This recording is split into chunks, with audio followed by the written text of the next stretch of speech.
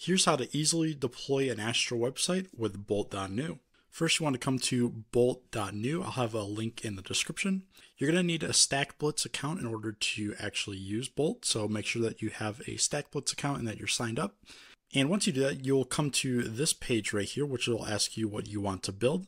So we can actually choose the Astro starter at the bottom left here. If we go ahead and click on that, this is going to build us a starter template for the Astro framework.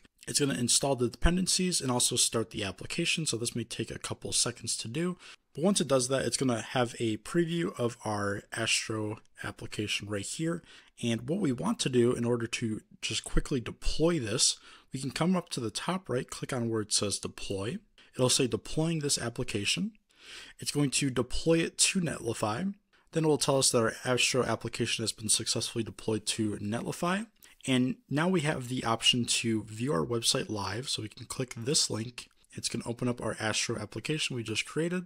And if we want to claim this Netlify project, which we're going to need to do, because otherwise it's going to get removed in one week if we do not automatically claim it.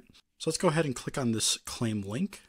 And we're going to need to uh, log into Netlify in order to get this to work. It's going to bring us to this page that says Netlify your Bolt projects. So if we click on where it says add projects to Netlify dashboard, now we're going to see that project that we just built right here. If we go ahead and click on this, we can see that we have now claimed this project and so it won't automatically be deleted. We can go ahead and set up a custom domain if we want as well. But now we have a fully built out Astro project set up to our Netlify very easily with Bolt.new. If this video helped you guys out, please leave a like. That's going to do it for this video. Thank you so much for watching, and I hope this helped you out.